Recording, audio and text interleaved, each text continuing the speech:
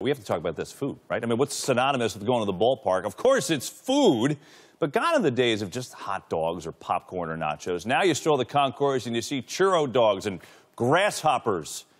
Grasshoppers. Unbelievable. Anyway, MLB decided to bring them all together for one giant food fest, and we sent the D train there for the ultimate taste test.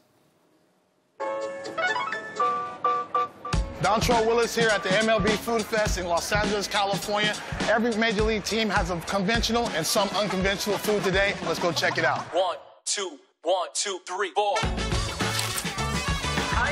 This is serious. This is what goes down at the Food Fest. Woo-wee. My kids are gonna be so jealous right here. If you think about all the different culinary experiences across all 30 Major League Baseball parks. We, we thought, why not bring it all together under one roof here? I love it. Give me all of it. This is the secret why Yelich did so many home runs right here. I mean, I don't know if I read the sign right. Seattle Mariners giving up grasshoppers. Now drop the beat. Tell me straight up, what pairs well with my grasshoppers from Seattle? These are crunchy and salty, so you're gonna want something light and refreshing. All right, Seattle. Gonna try some grasshoppers here. Oh, yeah, we got it. I get it. I get it now, Seattle. Uh, all right. My knee's too old. How many dishes do you expect to make by week's end? I would say definitely over 3,000, 4,000 of each dish. That's a lot of batter, 'cause there's a lot of fried food. All right, what we got in store here today? Breaded cowboy caviar. Is that what I think it is?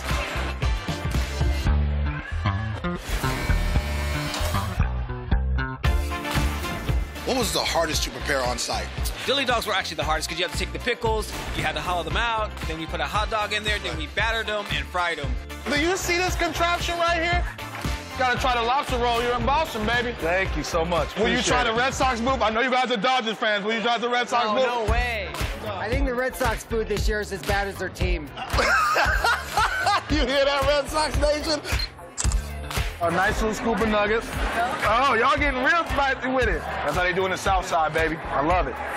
Can everybody come to the coolest booth in the whole Food Fest? Here you go, brother. Thank you, man. Have a good day, all right?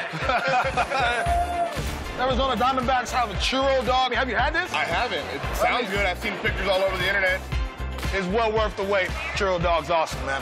All right, that does it at MLB Food Fest. I think it's time for you to get a nap. Ah.